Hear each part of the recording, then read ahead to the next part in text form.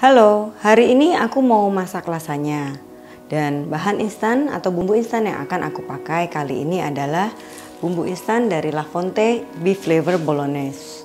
Dan bahan-bahan lain yang sudah aku siapkan di sini ada tentunya bumbu instannya satu bungkus. Dan di sini ada tomato puree satu sendok makan. Ini dapat diganti dengan satu buah atau satu butir tomat matang. Kemudian dicacah. Kemudian ada dua siung bawang putih yang sudah dicacah, satu siung bawang bombay yang sudah diiris halus, 300 gram daging giling, air secukupnya, dan lanjut kulit lasanya instan yang sudah aku rebus setengah matang. Jadi kulit lasanyanya itu seperti ini. Ini sebenarnya dapat langsung digunakan, tapi aku memang lebih suka dengan tekstur kulit lasanya yang lebih lembut. Makanya aku rebus ini setengah matang. Juga kalau seandainya kalian pakai kulit instan, itu nanti bentuknya dia akan mekar dengan sendirinya. Jadi kadang permukaannya nanti akan bergelombang. Nah, itu dia kenapa pilihan aku adalah aku akan aku sudah rebus setengah matang. Di sini aku siapkan 4 lembar. Lanjut, ini ada olive oil bisa diganti dengan minyak goreng. Keju mozzarella ini 60 gram dan di sini susu cair 400 ml, tepung terigu 20 gram, keju cheddar 50 gram, dan bubuk-bubuk atau pelengkap lainnya adalah gula secukupnya, garam secukupnya, pala bubuk secukupnya, lada bubuk secukupnya, parsley, dan juga oregano. Ini juga nanti secukupnya saja. Untuk membuat lasanya, kita akan membuat dua macam saus, yaitu saus merah yang biasanya kita sebut dengan saus bolognese atau saus putihnya yang kita sebut dengan bechamel saus. Nah, langkah pertama langsung aku akan membuat saus merahnya terlebih dahulu. Oke, aku sudah panaskan olive oil di atas uh, wajan. Lanjut aku akan masukkan bawang putih dan bawang bombay. Ini akan kita tumis sampai dengan layu.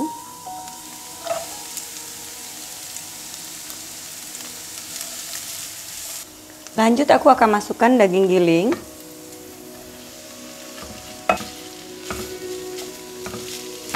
Di sini aku akan tambahkan sedikit garam. Tidak usah terlalu banyak. Kemudian dilanjutkan dengan lada bubuk.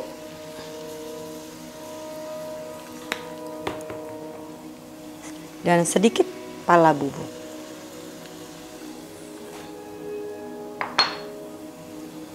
Ini kita aduk sampai dengan rata. Apabila warna daging sudah mulai berubah seperti ini, lanjut aku akan masukkan tomato puree. Atau mungkin kalau kalian biasa juga lihat namanya tomato paste. Itu sama saja.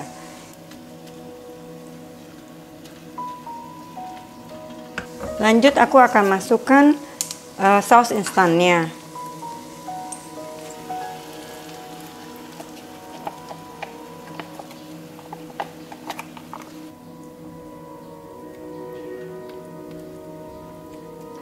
Lanjut aku tambahkan dengan sedikit uh, parsley. Kemudian aku tambahkan oregano sedikit. Ini sekitar setengah sendok teh saja.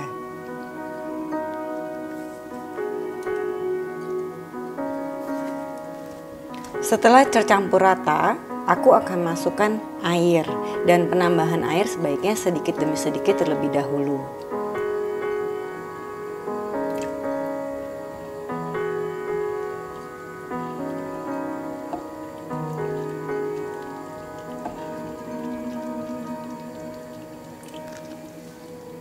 Setelah kita tambahkan air, di sini kalian bisa cicipi dan bisa koreksi rasanya. Apa yang kurang bisa ditambahkan.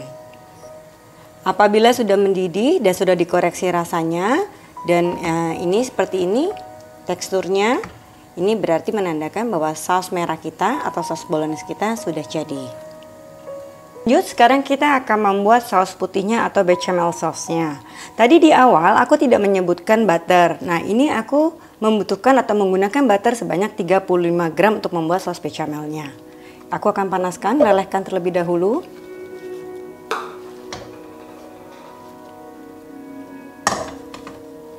Setelah butternya meleleh, aku akan masukkan tepung terigu.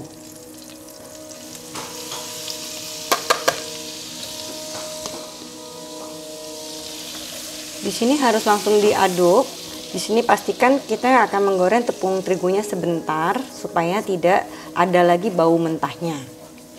Lanjut aku akan masukkan susu, ini sedikit demi sedikit dan kita akan harus terus mengaduk sampai dengan teksturnya itu halus karena kalau tidak teksturnya nanti akan bergerindil.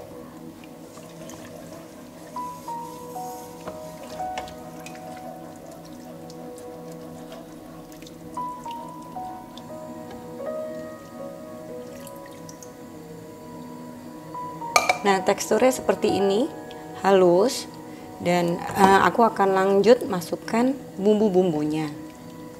Akan tambahkan garam sedikit saja karena nanti kita akan masukkan keju. Jadi nanti kita harus coba atau cicipi. Sebaiknya jangan terlalu asin di awal. Kemudian lanjut aku akan tambahkan pala bubuk sedikit saja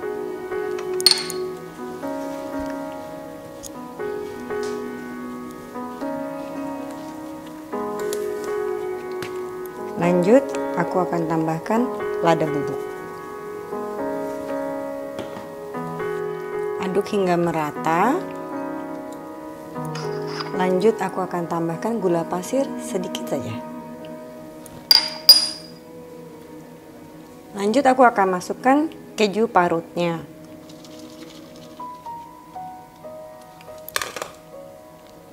Kita aduk sampai dengan rata dan kejunya benar-benar meleleh. Setelah ini, kita akan cicipi dan koreksi rasanya. Tidak perlu khawatir apabila adonannya terlihat encer karena nanti pada saat dia mendingin adonannya otomatis akan mengental. Nah, ini kita tunggu sampai dengan mendidih. Nah, ini sudah mulai mendidih berbuih-buih. Ini berarti saus bechamel kita sudah jadi. Jadi ini sudah dikoreksi, sudah aku rasakan bahwa semuanya sudah cukup dan ini akan aku matikan sekarang apinya. Oke, sekarang kita akan mulai menata uh, lasanyanya ke dalam uh, tempat yang tahan panas. Karena nanti setelah ini kita akan oven, jadi pastikan bahwa wadah kalian itu bisa untuk menahan panas. Apabila tidak ada wadah beling semacam ini, bisa gunakan aluminium foil. Nah, aku akan potong-potong dulu kulitnya atau akan aku sesuaikan besarnya dengan wadah yang aku punya. Nah, kalau kalian lihat di sini kulit itu setelah aku rebus aku akan taruhnya itu selalu aku sekat dengan plastik. Jadi dia tidak akan menempel satu sama lain. Jadi seperti ini. Nah, ini lembaran yang pertama. Ini aku akan ukur sebesar wadah yang aku punya. Kemudian aku akan potong seperti ini.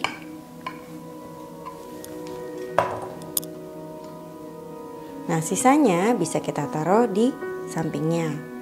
Pastikan ini tertutup semua. Kemudian kita akan masukkan saus merahnya.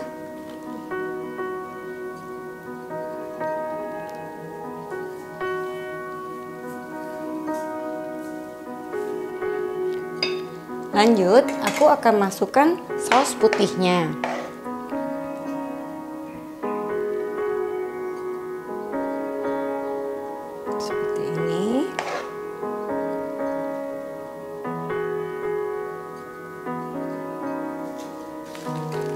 Lanjut aku akan taruh kulit lasanya yang kedua dan ini kalian teruskan sampai dengan semuanya habis.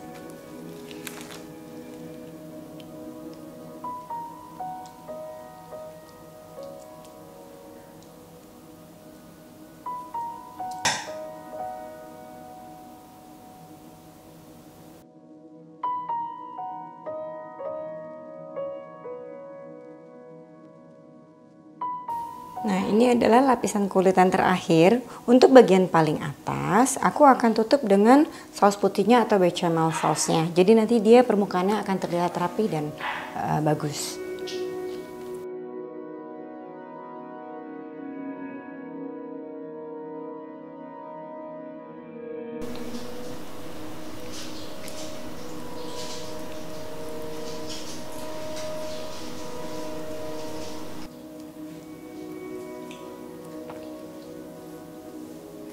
Nah, lapisan terakhir yang paling atas adalah keju mozzarella. Ini aku akan taburkan dan nanti ini juga opsional ya. Aku karena suka banget, keluargaku juga suka banget sama yang namanya keju. Aku akan tambahkan lagi cheddar cheese di atasnya sebagai taburan juga.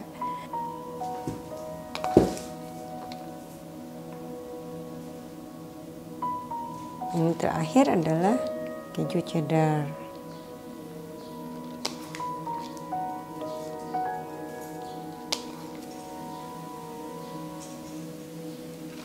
Nah ini sudah jadi semua layarnya sudah uh, aku taruh. Dan ini adalah tampilan akhir. Dan sebelum aku masukkan ke dalam oven pastikan ovennya sudah dipanaskan. Juga aku akan beri taburan sedikit oregano di atasnya. Seperti ini. Dan ini sudah siap untuk dipanggang. Kita akan panggang api atas bawah uh, selama 25 menit